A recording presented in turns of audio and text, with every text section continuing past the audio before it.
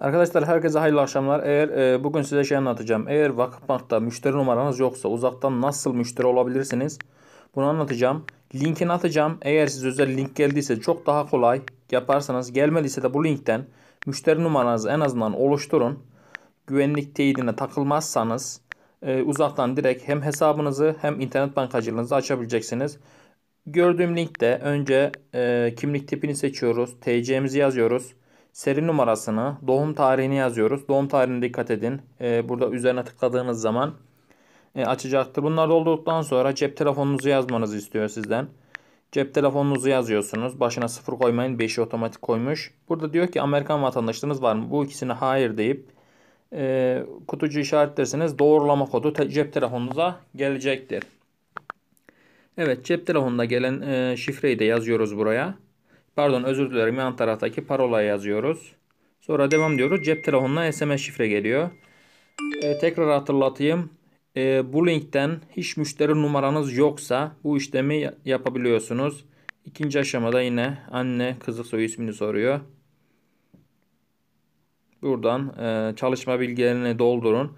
Arkadaşlar çalışma bilgilerini başvuruda e, nasıl yaptıysanız o şekilde başvurun ki e, çakışım olmasın. Sistem e, bunu algılayabiliyor çünkü. Bu dediğim işlem sadece Vakıfbank için uzaktan müşteri olma. Eğer hesabınız yoksa nasıl uzaktan hesap açabiliyorsunuz? Tekrar hatırlatıyorum. Eğer link yoksa size gelmediyse bu linkten deneyip e, güvenliğe takılmazsanız uzaktan hem hesabınızı açabileceksiniz hem internet bankacılığınızı ve kredi kullanabileceksiniz arkadaşlar. Bunun da bilgisini vereyim. Etrafınızda varsa bunu siz de paylaşabilirsiniz. Evet aylık gelirimiz ve mail adresimizi yazdık. Bu da bana bir e, bu işi yapan birisinden geldi bilginiz olsun. Yani bu gerçek bir müşteri numarası verme. Yalnız bu kişiye e, şey gitmedi bilginiz olsun. Ha, bu kişiyi normalde şubeye davet etti. Çünkü daha önce bankacılık işlemi yapmadığını belirtti. O yüzden bankaya davet etti ama biz yine de link üzerinden devam ettirmeye çalıştık. Ee, yalnız şöyle bir sıkıntı oldu. Sadece onu vereyim. Müşteri numarası oluşturdu. Ama bunu en sonda tabi şubeye yönlendirdi yine.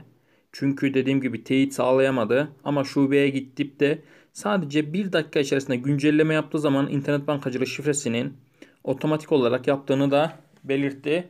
Evet bazı arkadaşlar diyor ya biz e, sıkıntıya düşüyoruz yapamıyoruz diye. Bu gördüğünüz kişi tek seferde bu işlemi gerçekleştirdi bilginiz olsun. E, burada adres bilgilerini dolduruyor ev ve iş adresi çünkü bizde e, hiçbir hesabı yok. Yani bu sitede hiçbir hesabı yok bilginiz, bilginiz olsun sizin de. Buradan bilgileri doldurmaya devam etmiş arkadaşımız. E, bu Siyah çizgileri de güvenlik amacıyla koydum bilginiz olsun. Hani arkadaşın sonuçta TC'si yazıyor bu gözükmesini istemediğimiz için. Bu şekilde eklemiş olduk onu da. Organ yazmış. Organize sanayi yazacaktı muhtemelen. Yazmak istemedi. Oradan devam tuşuna basıyoruz. Evet şube seçimi. Bulunduğunuz ildeki herhangi bir şubeyi seçmenizi tavsiye ederim. Çünkü para yatırma çekme daha sonra size zorluk çıkarmasın. Evinize en yakın şube hangisi ise onu seçin. Bakın şuradaki kutucuklar geliyor. İnternet bankacılığını özellikle seçmeyi unutmayın. Bu şekilde arkadaşlar başvurunuz tamamlı. En yakın şubeye gidin diyor. Oradan bilginiz olsun.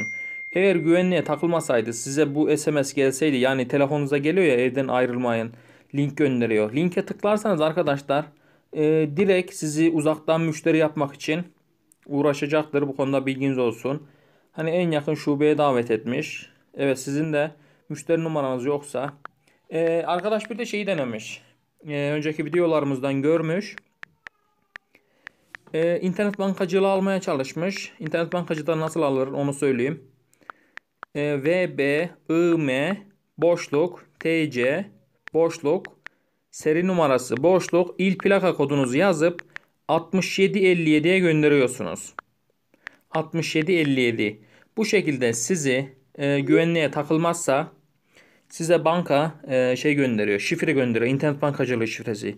Bunda Play Store'dan ya da App Store'dan Vakıfbank'ı indirip telefonunuza kurabilir ve bu şifreyle birlikte e, devam edebiliyorsunuz. Dediğiniz gibi internet bankacılığı olmak için en yakın şubeye davet etmiş. Bu kişi tabi şubeye gitti.